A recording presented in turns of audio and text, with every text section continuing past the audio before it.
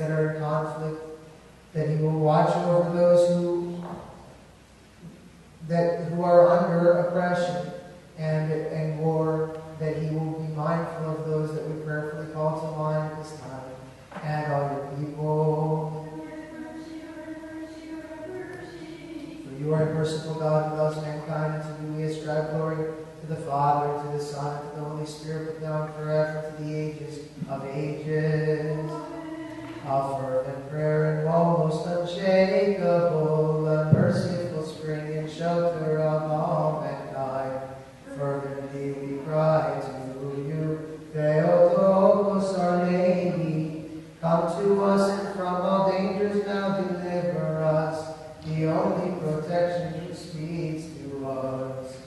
Only fail for forsake us. Still the darkest of passions on the sea of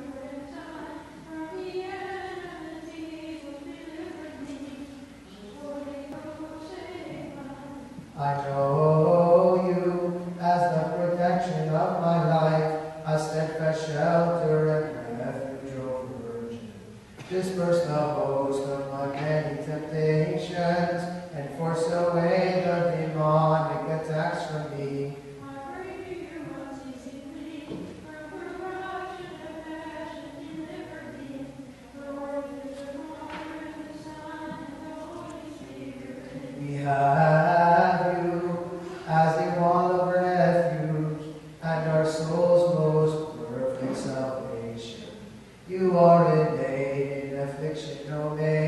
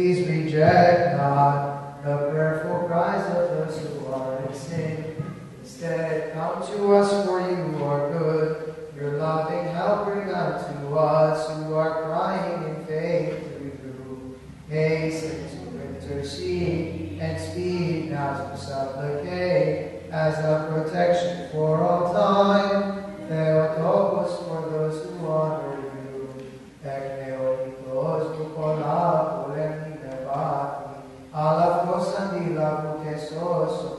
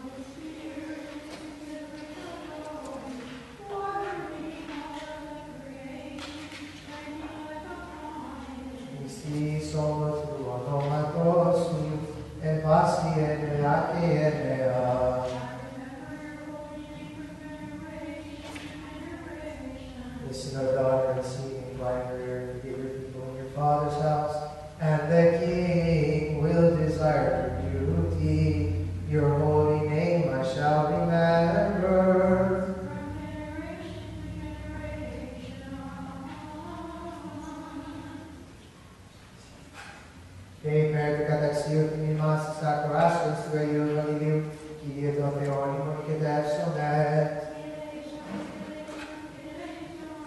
Σοφία, ορθή ακούσουμε του Αγίου Ευαγγελίου, ήδη η πάση. Εκ του κατ' Αγίου Ευαγγελίου τον άγνωσμα. Those days Mary arose and went with haste into the hill country to the city of Judah, and she entered the house of Zacharias and greeted Elizabeth. And when Elizabeth heard the greeting of Mary, the babe leaped in her womb.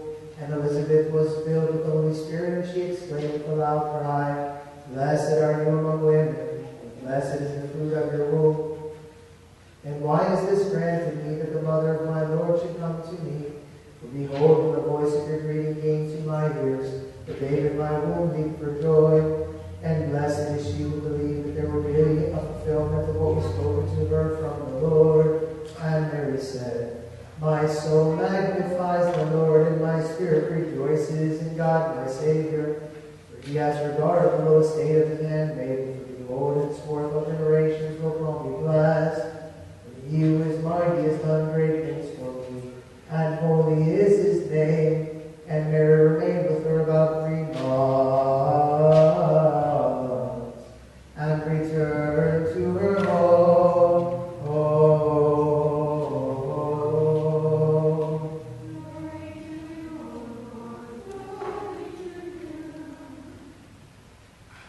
Glory to the Father and the Son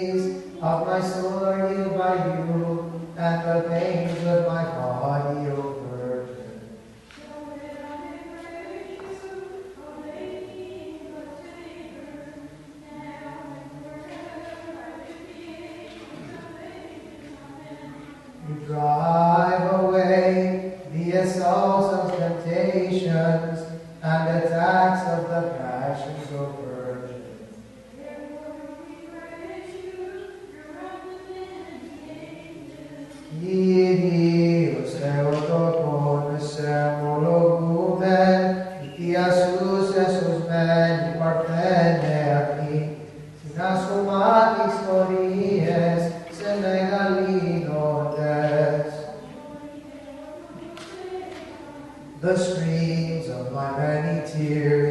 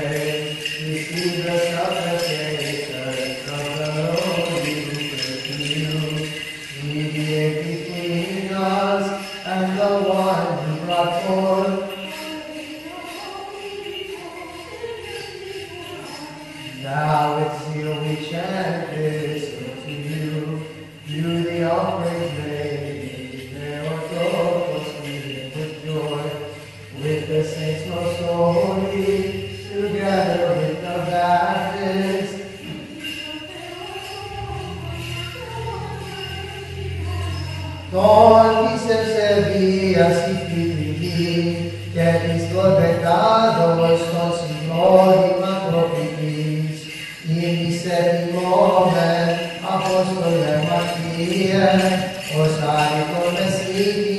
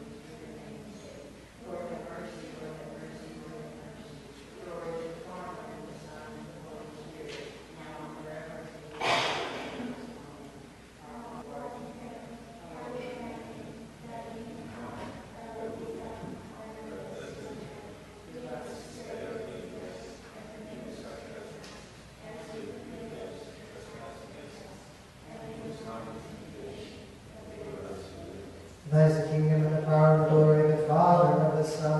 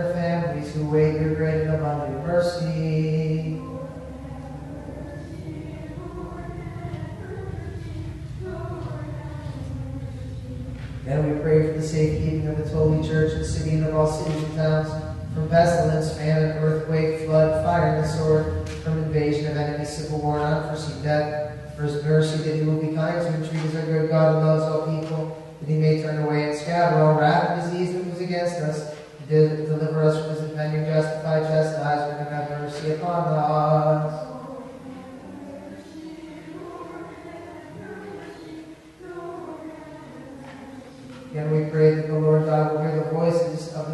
Petitions of the sinners and have mercy upon us.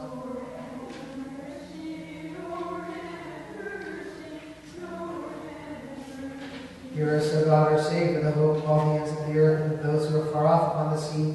Show compassion, show compassion on us, O Master, and our many sins, and have mercy upon us. For merciful and loving God are you, and to you we ascribe glory, to the Father, and to the Son, and to the Holy Spirit, and now and forever, and to the ages of ages. Glory to your God, and our hope, glory to you.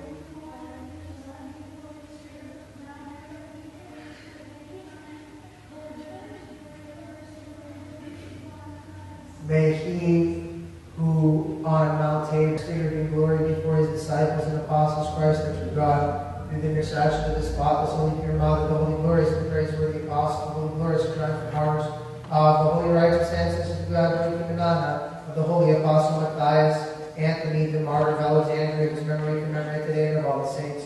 Have mercy upon us and save us, through good and merciful God, who loves mankind. Please be seated.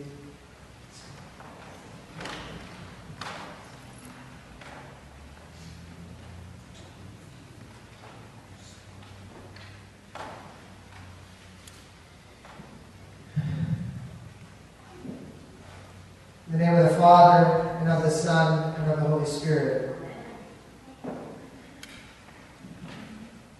I did say sit, right, Karen? I didn't say lay down. I can bring you the pillow. All right. Um, we've been, uh, we, we began this past Wednesday in going over the final hymns of the Paraclesis. Uh, the ones that we normally sing are, are different than the ones that we're singing now. And the reason why they are different is because we are in the mode of remembering the Assumption, the Dormition, the falling asleep of our Virgin Mary, the Mother of God, and, and we call Panagia. So we did the last hymn first because I'm backwards, and we're working backwards. So we're going to do the third hymn now so we can go over it in our minds and understand what, what this is. Our theology in the Orthodox Church, if you don't have to read the Church Fathers, all you have to do is come to church. That's all you have to do. So you, you hear it, you see it, now let's understand it. The hymn, the third hymn in this set of four stanzas that, that are at the end of this uh, Paraclesis begin, I have you as mediator. I have you as mediator before God who loves mankind. Okay, so que se me ciprianeco prostin philantropon theon. Okay, um, before God who loves mankind. We'll get to that in a second. I have you as mediator. What, what, what are we talking about here? Because you know, in the in the uh, in the Bible, it talks about how there's only there's only one God and one mediator. Right? That's what it, that's what St. Paul says. So why do we call why do we have the audacity to say that she is a mediator? How could we possibly go against the scripture when St. Paul is saying there's one God and one mediator to God the Father, which is Jesus Christ? Now, what is St. Paul saying? Is he saying is he saying that there is only one person that can call upon God? No, that's clearly not true because we know that, that after the resurrection, after the Spirit was given to us, we all can call upon God. We all can mediate for each other. We all can kind of be that person that guides the next person to the, to the Lord. What St. Paul is talking about, mesitrio, okay, or, or mesitrio, when he's talking about the mediator, the mediator with a capital M, bold print, italicized, and underlined, he's talking about what Jesus did for us when he ascended, when he came down, took flesh, suffered, died, rose, and then wasn't done, took our flesh back up to God the Father. This is what he's talking about as a mediator. He he showed us where our flesh, where our, uh, where our bodies belong with God. That's the way we were always supposed to be. And in that sense, there can be only one mediator. There can be only one mediator in that sense. But we're not using the mediator in this sense in the same way. This word in this sense is a completely different meaning. Because what did what did the Virgin do? Did she go on the cross? No. Did she was she beaten? No. Was she struck down? No. Did a sword pierce her soul? Yes. Of all the people that went through the life and suffering of Jesus Christ, only one person could have endured what he endured in one in a little measure. Only Jesus did what he did. But to say that she did not endure a, a bit of what he endured, we're lying.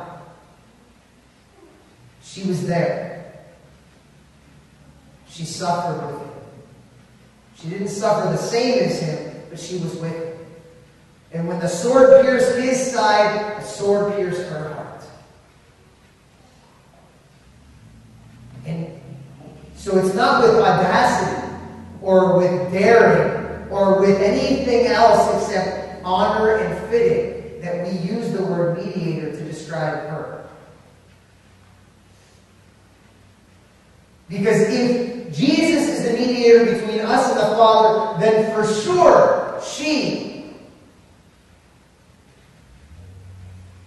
by the, by the giving of John the Apostle to her and her to John the Apostle, is clearly the mediator between us and Jesus. I mean, there's no other way.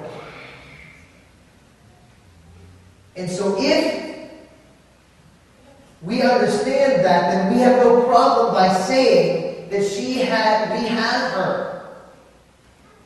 We now have her. We possess the Virgin Mary. We possess, in some ways, the blessing and intercessions of our, of, of our blessed Panagia, the Theotokos. We have her. And the reason we have her is because she was given to us. Jesus literally, not figuratively, literally gave her to the Apostle John and by extension to the rest of the world. I have me as mediator before God who loves mankind. And, and again, we you know, I love these hymns because at all points and times, when we are petitioning, we are petitioning God, when we are begging sort of for intercessions, we're asking the Virgin Mary. And that's the way these hymns are. They're very good about that. So she's the mediator before Jesus, who is God, who loves mankind, and he obviously loves all of us. This is why he gave us a mother. He allowed himself to, to have a mother, and in, and in turn gave us a mother. Not just our earthly mother that we owe our lives to, but our heavenly mother, to whom we owe everything else. May he not question my action before the host of the angels. What is this, my action? May he, capital, capital H, so that's not just a, you know, that's not just some he somewhere. That's he. Ye. That's thee, right? That's God. That's may he not question my action before the host of the angels. This is this is a, a reference to the fact that as mediator, you can look at your son who is judge, and you can say to your son who is judge, let them know. Let, let, let, let that one would, would she do that? Well, she already has. The plan of salvation has already been altered because she wanted wine at a wedding. That's, I mean, it doesn't seem like a very important request. You know, at the, at the grand scheme of things, if there wasn't wine at that wedding, if they didn't, if they ran out of wine at the wedding, it wouldn't have been the end of the world. It really wouldn't. It just would have been a wedding that there was no wine. Not a big deal. It would have been talked about for a little bit and then forgotten. She changed everything, the entire plan of salvation. Because the wedding that she was at, she, in the wedding that her son was at, she always had great joy at it. And so she allowed and asked her son to bring that joy in the, in the form of that wine that he had changed from water. And it, so when we look at that, well, who is this person that she's interceding for? How important are they? Doesn't matter. We don't have to be that important, you know, to somebody else. All we have to do is be important to her. And she makes that intercession. Now, Jesus, as the judge, has the right to look at his mother and say, Woman, what have you to do with me? Just like he did at the wedding of Cana. Woman, what does this have to do with me and you?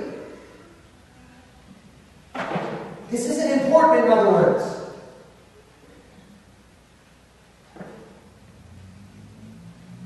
And, and this person that you're interceding for, that I'm about to condemn or whatever, that I'm going to question their action. Why are you? What does this have to do with me and you? But she does. And regardless of whether we are important or not in the universal way of looking at it, you know, you, somebody says God's up here and we're all down here and we're just like this little ant. How can we possibly be important? We are. We're vitally important. But just in case we have that reference point, we also have her.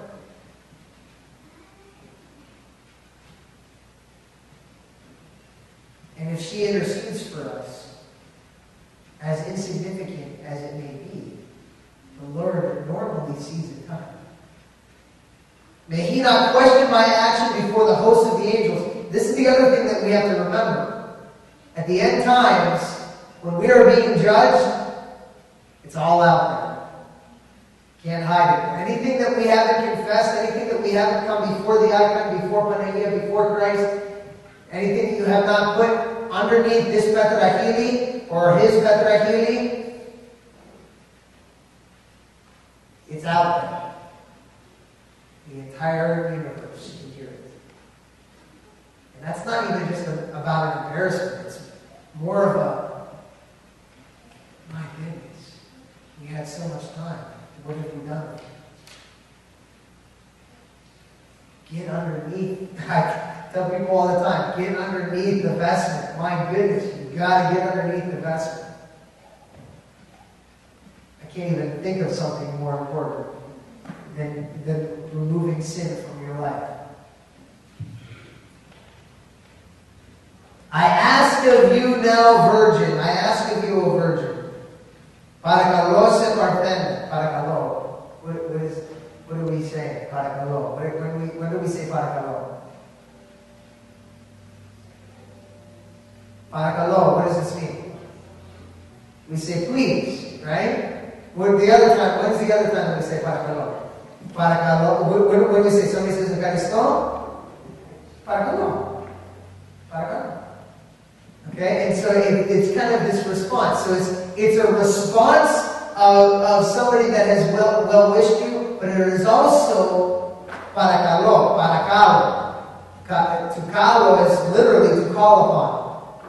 Para calo in Greek is to over and above call upon someone. In other words, you're begging. Not just I ask of you. This isn't. That's not good enough. It doesn't, I ask doesn't do it justice. It's not a question. I'm begging of you, O Virgin, to hasten now quickly to my aid. What is this aid that we want? We want her to intercede for us. We want her to be the mediator between us and her son. Just in case our Lord is responding with his prayer by saying, Not yet, you know, just like he sat back at the wedding of Cana and, you know, I was a, he was going to let, come on, it's not like he didn't know that they ran out of wine. It just, he, he had another function. Um, an important function, but he had another one. She walked up to him. And we don't try to we don't try to understand what that means in the grand scheme of salvation. We really don't. All we know is that that, that has taken place. And he didn't chastise her for it. He respected her for it.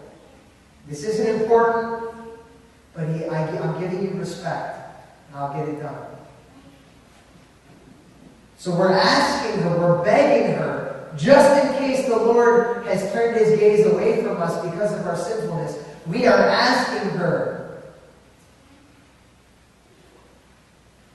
please intercede for us. We need you.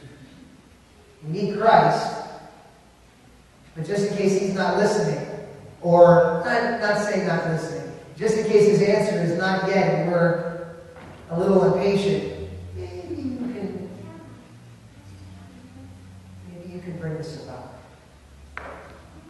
And it's not sacrilegious, I'll tell you why, because she answers. so many people I know have Panagia stories. of Theotokos stories?